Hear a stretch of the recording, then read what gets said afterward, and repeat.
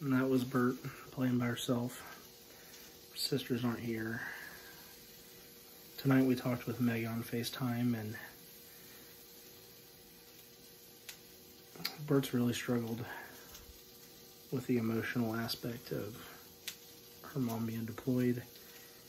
Um, there's a lot of anxiety for her. Um, she cries when I drop her off places sometimes. And I don't blame her. She's got a fear. We're mom and dad. Um, and she cried tonight, leaving Aunt Heather and Grandma.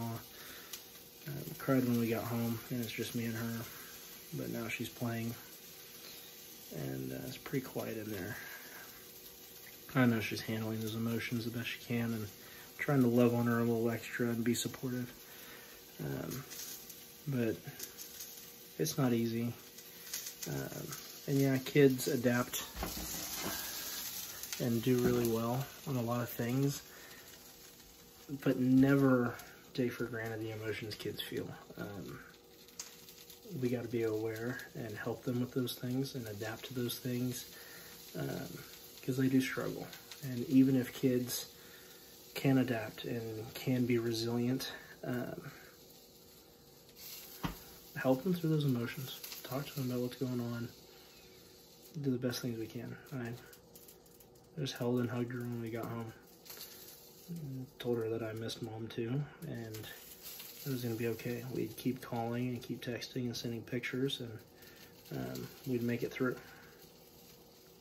Kids struggle, um, and sometimes we forget that. We think that we are the only ones with struggles, um, but I can tell you firsthand here, kids struggle too.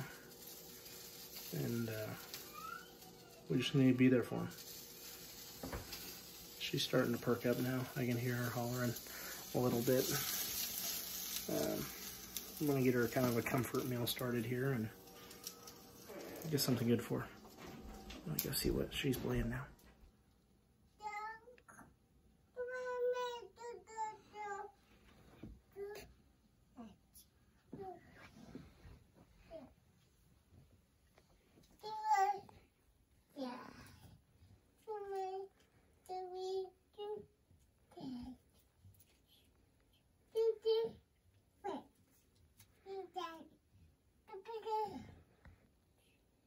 Are you playing with your dolls?